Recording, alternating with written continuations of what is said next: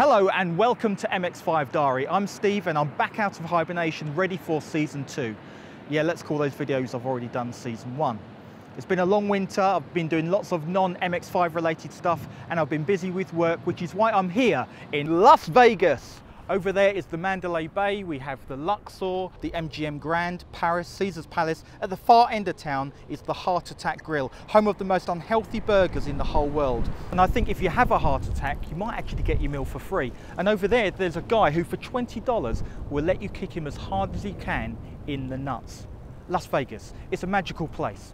So when I come back to the UK, I'm looking forward to creating some new episodes. I've got new tyres, I've had the noise in the transmission fixed, I've since found another noise. I'm going to be doing some performance stuff with springs, exhaust and so on. I'm going to be answering your questions, plus I'm going to be doing some random stuff.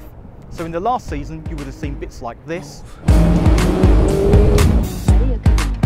And ah!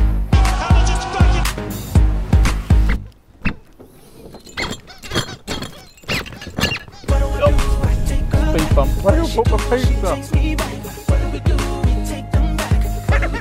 pizza? Sorry. So embarrassing. For the duration of the trip, you're called ballast. Why? Doesn't matter. And in season two, you're going to see bits like this.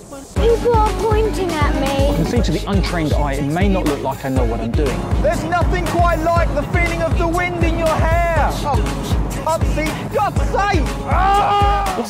What's that? That's a Beretta 93R. That's a banana. I was expecting something more gun-like, not fruit. If I'm being completely honest, I'm getting quite a lot of unwanted attention. And I look ridiculous. So I'm still loving the MX-5 and I'm looking forward to creating some new episodes for MX-5. Du- Is Elvis?